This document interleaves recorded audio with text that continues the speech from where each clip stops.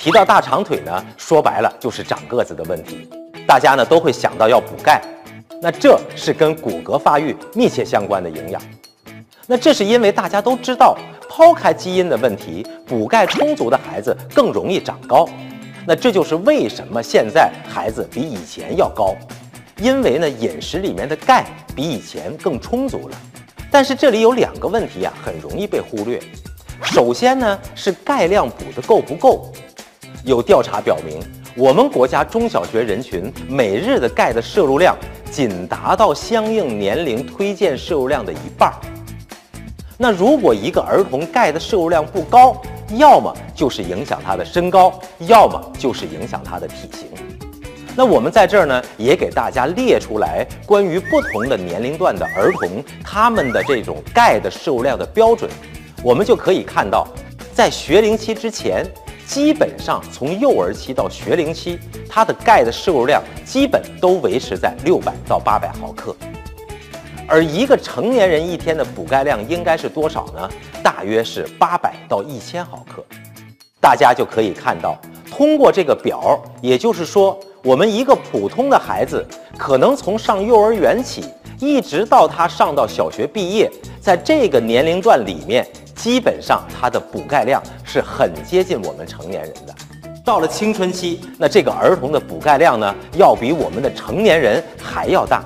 基本上啊，跟怀孕的妇女孕期的补钙量是一样的水平。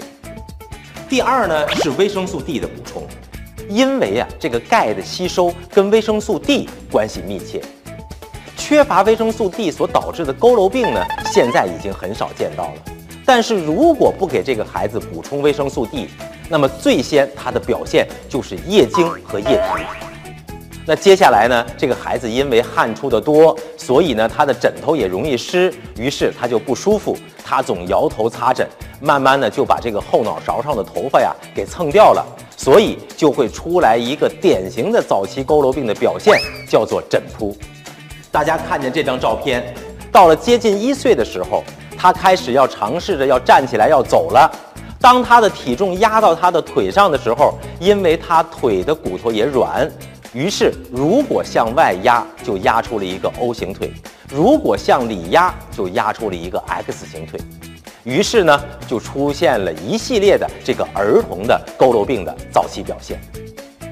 尤其是对那个小女孩，因为她的这个双下肢呢也会挤压这个骨盆，导致呢他成年以后啊就有可能这个骨盆也是变形的。那这对于他将来的怀孕、分娩都会造成明显的影响。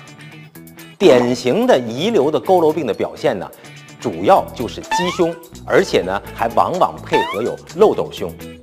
这个漏斗胸啊，就是它的胸口窝呢，就是一个漏斗的形状啊，就是一个窝，那个窝啊是可以倒进去水的，是可以存住水的。所以啊，大家一定不要忽视维生素 D 对孩子骨骼健康发育的这种影响。而且，如果维生素 D 和钙补晚了的话呢？